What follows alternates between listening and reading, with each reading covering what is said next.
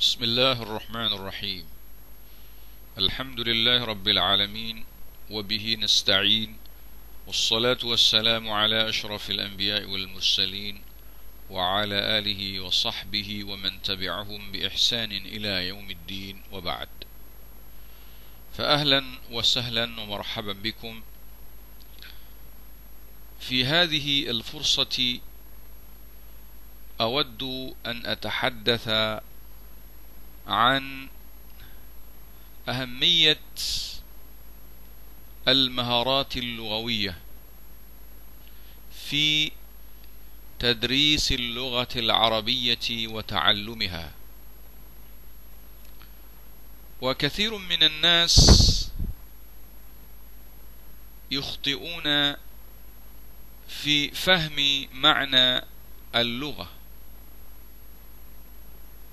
فكثير منهم يعتقدون أن الإنسان إذا فهم القواعد اللغوية أو القواعد الصرفية فإنه يعتبر ماهرا في اللغة العربية أو متمكنا في اللغة العربية.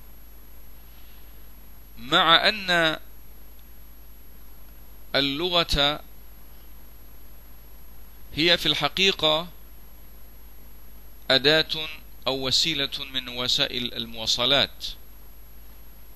فالإنسان الذي لا يستطيع أن يستخدم اللغة في اتصالاته أو في معاملاته مع الناس فلا يمكن أن يكون متمكنا في اللغة لأن اللغة أصلها للإتصال. وللتعبير. فلذلك من الخطأ أن نعتقد أن ال أن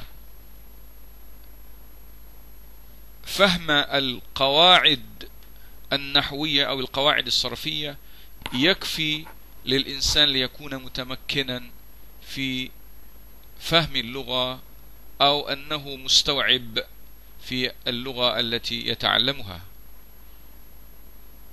فمن هنا نجد أن كثيرا من الطلبة أو الناس قد قضوا فترة قضوا فترة طويلة في تعلم اللغة العربية ولكنهم مع ذلك لم يتمكن من استخدام اللغة كمهارة. السبب في ذلك واضح جدا وهو أن معظم الطلاب لا يهتمون بتدريب المهارات أو أن الأساتذة أنفسهم لا يهتمون بتدريب الطلاب للمهارات اللغوية. فهذه هي المشكلة الحقيقية. فمن أجل أن نرفع مستوى اللغة العربية ونرفع مستوى المهارات اللغوية بالنسبة بالنسبة إلى متعلمي اللغة العربية فلا بد أن نركز على المهارات تركيزا مكثفا وأن تبدأ تعليم المهارات وتدريب المهارات منذ المستوى الأول.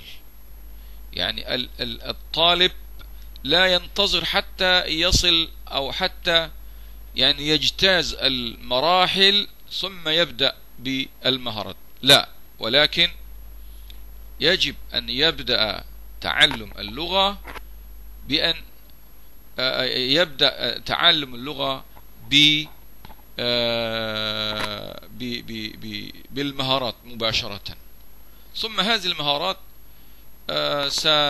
ستكون أساسا في توسيع المعلومات في توسيع أو في تعميق هذه المهارات في المراحل أو في المستويات القادمة. وستكون سأتحدث الآن عن المهارات اللغوية الأربع.